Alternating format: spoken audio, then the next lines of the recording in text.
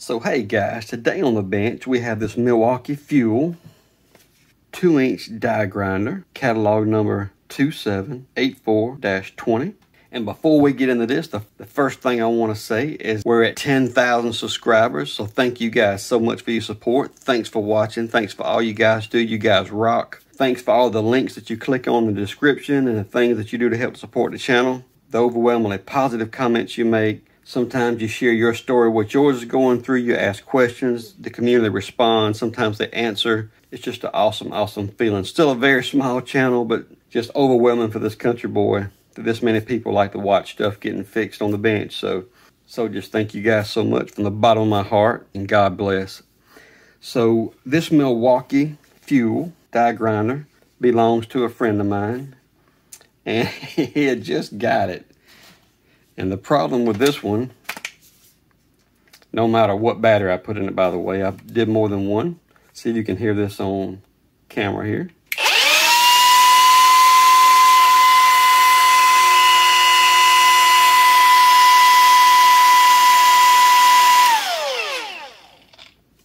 That made a real bad sound. And it doesn't smell very good. So this is not going to be a repair, but I can tell you we are going to look inside to see what's going on with this thing. So it looks like these are going to be T20 Torx, not security.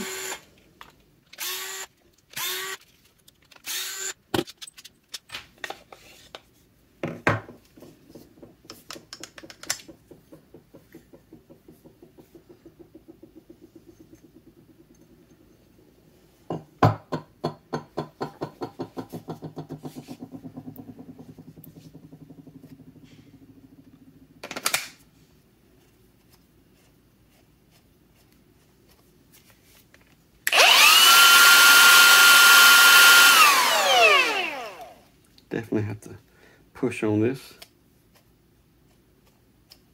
Hmm. That feels smooth too though.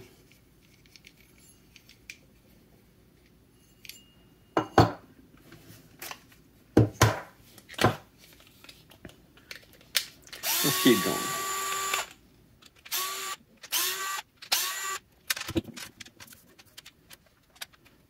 This one here is going to be a T10. That's odd. But it is.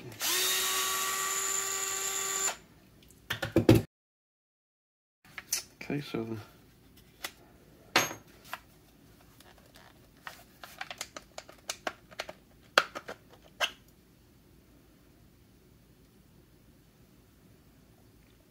And there's our rotor.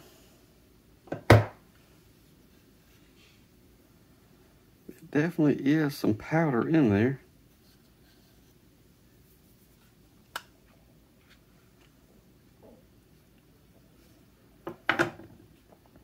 And there's our look inside the brushless motor and the paddle switch with the diode, like a flyback diode. We do have a speed control and a battery connector. Pretty impressive build, really. Most of you guys know I'm not the biggest fan of TTI, but Milwaukee is actually one of my favorite tools. Um, TTI does make, you know, Ryobi as well as Milwaukee, but some some things this Ryobi is is not bad either, really. Look at those MOSFETs. I've got to say that might be the first time I've ever seen acorn nuts be used to fasten down MOSFETs to a heatsink. The negative was just run up, I guess just to make a good connection with the, the metal housing of the die grinder, the shaft of it. Definitely a potted speed control. And I hate to say it, even your battery connectors done got difficult to work on here. A lot of silicone potting and ribbon cables. Two, two ribbon cables coming out of your connector board. Great. Just great. These bearings actually feel really, really good. I'm getting some powder off of here like the stator and rotor may have been touching there. We do have a cooling fan, but it don't seem to be rubbing anything.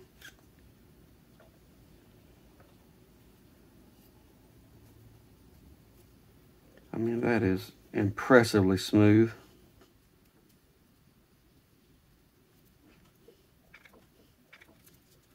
I don't know if you can see this or not, but if you look just beyond your Hall board back there for, for our Hall sensor feedback, you'll see some crud.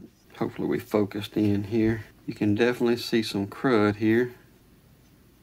And there's a wire of some type right there.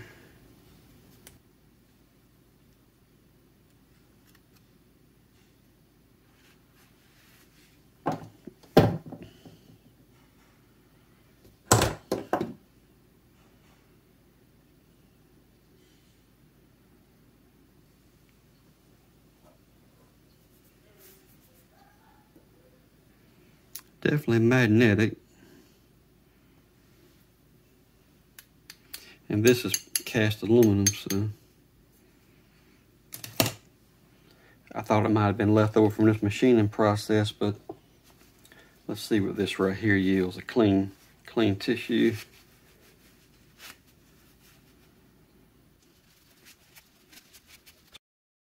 So I don't know if maybe this um, part didn't get cleaned at the factory and got assembled. That's definitely just assumption because this also could have been from the sound that we heard. They could have been making this iron dust itself here. You know what? The more and more we clean and look, this back here, hopefully you can see that on camera. On the pole right here of the stator, you can actually see where the plastic behind all your laminations on the pole is actually smeared and melted.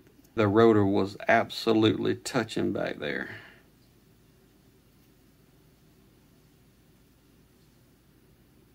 Interesting. So these little metal pieces that look like hair, I believe actually came off of here. We can see some plastic on here as well. And now a stator and rotor does have a very minimal clearance and, and that's on every uh, motor design, especially BLDCs so, and little servos. So it's not that uncommon for one to be close in tolerance as far as clearance, but what we have here for bearing support is plastic. So you would think that would be good enough though. Just give you another uh, once over look here and I'm actually going to just put this back together and uh, to clean everything up and just testing it out again.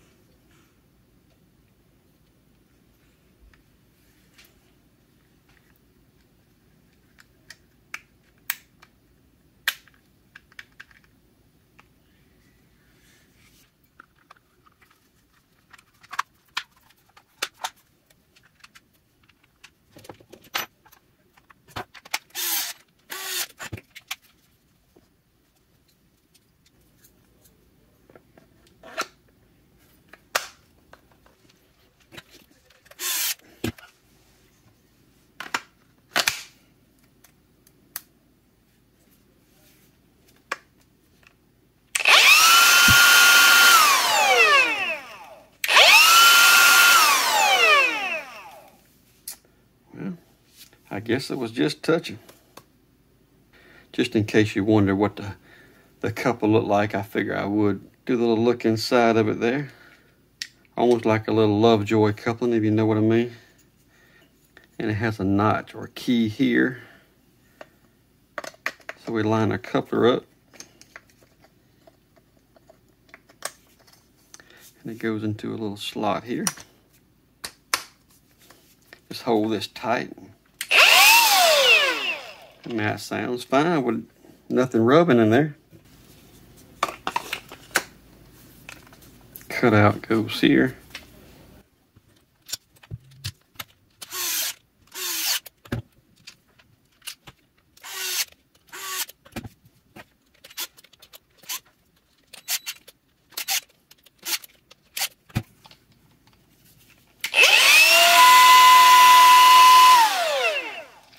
Definitely rubbing again.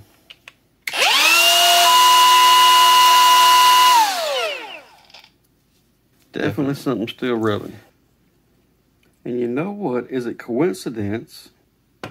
I figured they actually would have made this.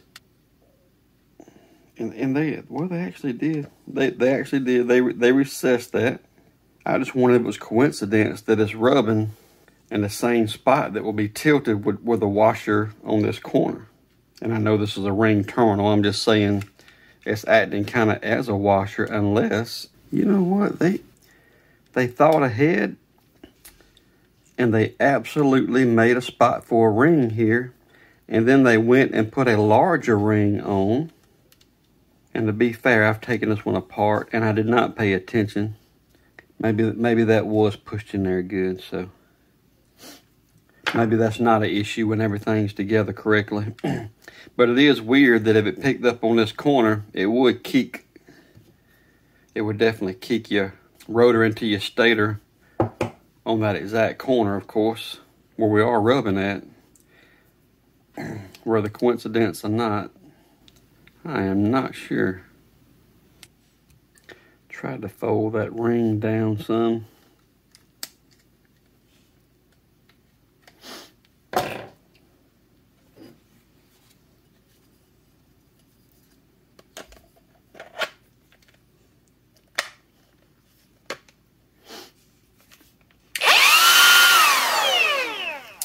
Definitely has a lot to do with how the face of this is tightened up. That is for sure. Of course, when we don't get it tight enough.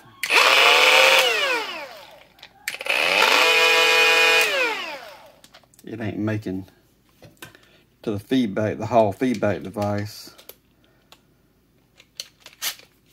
Almost sounds like gears grinding, but it's no gears in it. That's just the speed control messing up.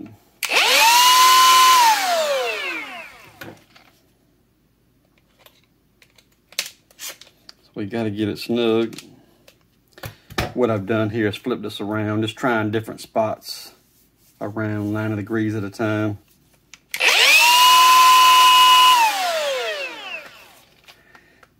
Not still hitting, but it still has a high-pitched sound, so so one thing that I have done here to try is I've just taken a little shim from a nickel strip and super glued it onto the bearing housing in the same place that we're rubbing here it's going to help keep that bearing up as well. This way as we try to get this alignment correct. And we'll see how that goes when we put it back together. So let's see how that does with the shim in it. And these tightened up as even as we can get it.